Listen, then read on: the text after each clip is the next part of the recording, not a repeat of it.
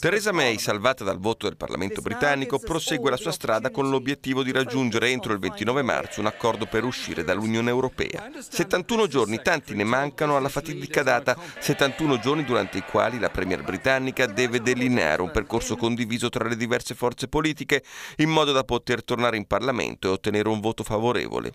Il tempo è poco, e le questioni sul tavolo sono molte e le posizioni tra i diversi partiti, siderali.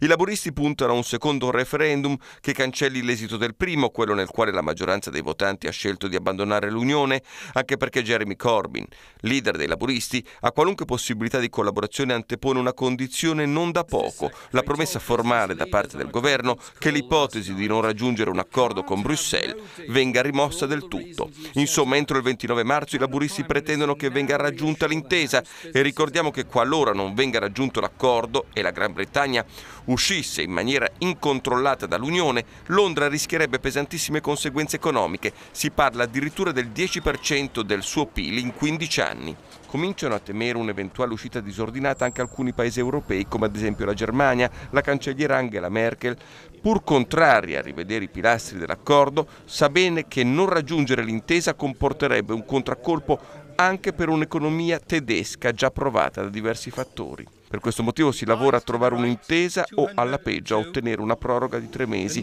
Questa dovrebbe essere richiesta da Londra e motivata. A quel punto Bruxelles potrebbe accettarla, anche se bisognerebbe decidere come affrontare lo spinoso passaggio delle elezioni europee. E guarda alle urne con una certa preoccupazione il leader francese Emmanuel Macron, per il quale alla vigilia del voto l'Europa deve mandare un messaggio forte agli euroscettici. Bruxelles non tratta con nessuno.